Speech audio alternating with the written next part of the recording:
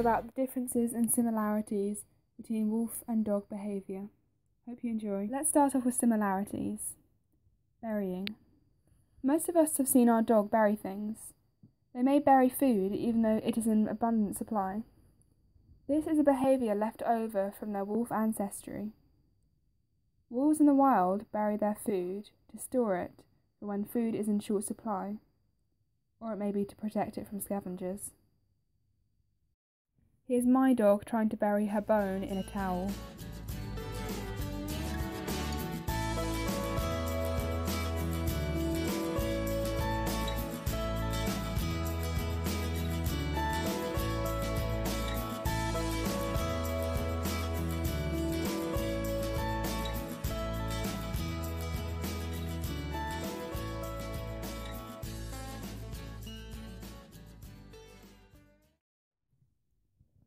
This next behaviour that occurs in both dogs and wolves is called the jaw punch.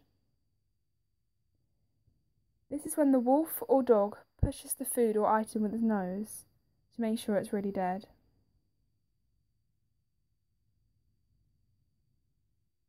Or sometimes it's just to investigate.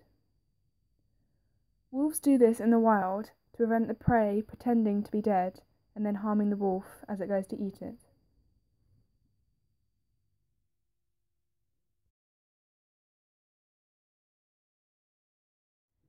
Scraping. Have you ever seen your dog urinate and then scrape the ground right after? This scrape behaviour is used in wolves by the alpha and intermediates as a form of scent marking. This is because of the scent glands in the paws. This helps to mark territory and to assert dominance. This behaviour in dogs could have the same motivation, or it could just be so instinctual it is performed without a reason.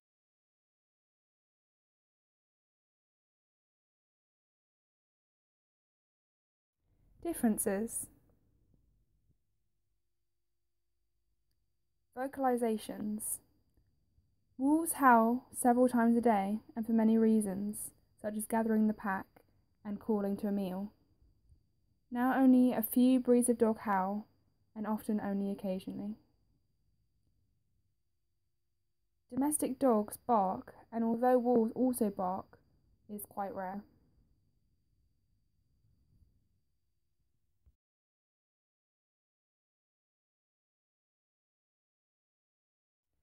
Dogs have also lost the ability to hunt in packs, whereas wolves thrive in packs and use teamwork to hunt.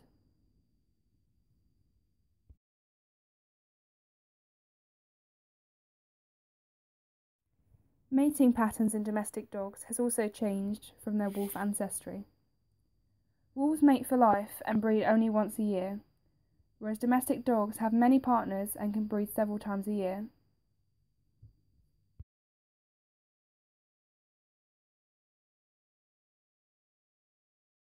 Thank you for listening, and don't forget to watch the second part of this two part series Wolves and Dogs Body Language.